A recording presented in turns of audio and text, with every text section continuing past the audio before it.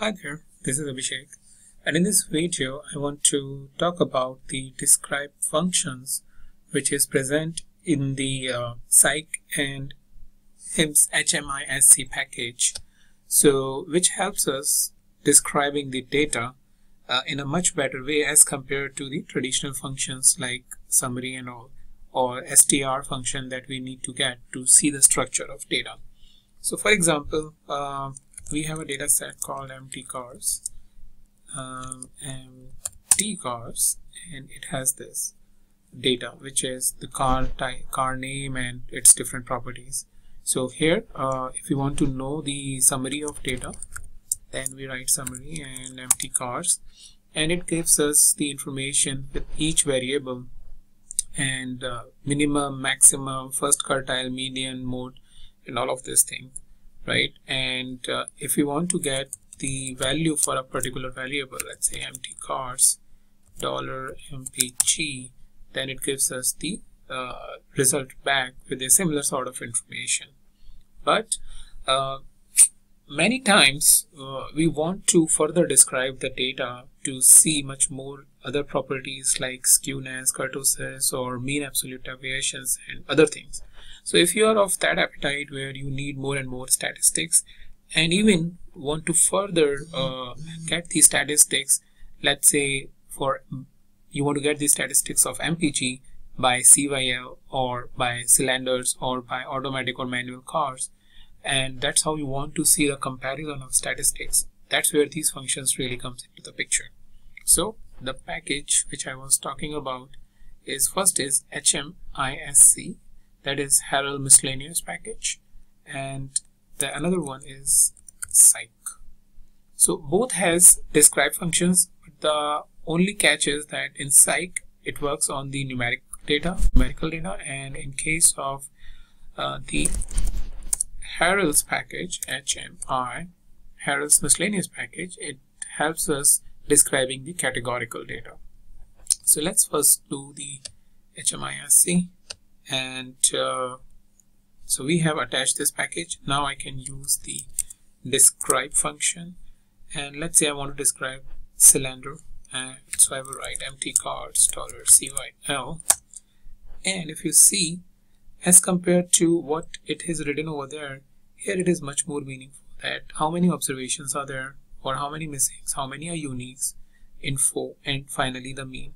Apart from that it also shows that for each cylinder cylinder 4, cylinder 6 and cylinder 8 what is their distribution in the data? So that means 34% is related to the cylinder 4 22% observations are related to cylinder 6 and 44% is related to 8 so that is a I feel that is a much better way of describing the data as compared to this mean or median which does not make any sense for a categorical data so similarly, we have psych package. So if I uncheck this to detach, and if I go swy psych, so that is uh, procedures for psychological, psychometric, and personality research.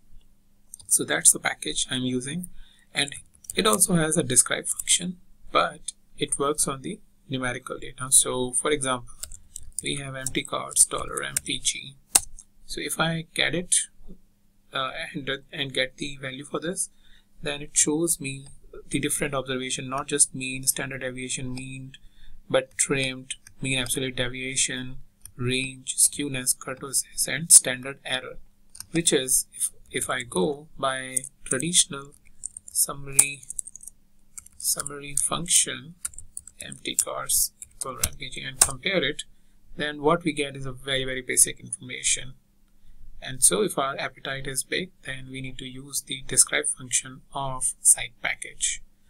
Well let's talk about uh, the analysis at a next level. So for example you want the mpg uh, you want to describe the mpg data using this but you want to describe it by the cylinder or let's say by automatic or manual car type. So here in this case the function that we have in this psych is describe by so first we need to specify the value which we want to describe. So in this case mtcars dollar mpg and then we want to group it by let's say AM which is automatic manual car type. Here in this case this one.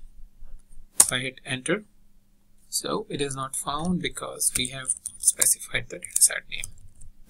Now if you see this result the first result this particular one which I'm highlighting is for uh, manual car and this one is for automatic car and it is saying that it's a similar kind of analysis but by your automatic or manual car so that's the kind of uh, uh, you know further flexibility you can get which is not possible by a traditional summary function.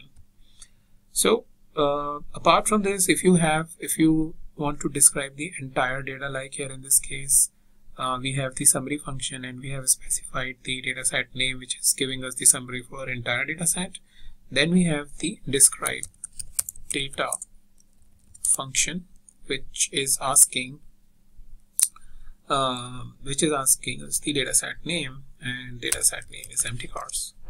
So if I enter this it shows us the uh, information for each of the variable and its uh, its position in the data set the number of observation and you know its other properties. So apart from this it also shows the number of observation how many complete cases and number of variables and all of those kind of things so this is how you can use the describe describe by uh, function on the categorical and numerical data. So if you have numerical data use the psych function and if you have categorical data then you need to use the uh, the Harrell's miscellaneous package which is HMISC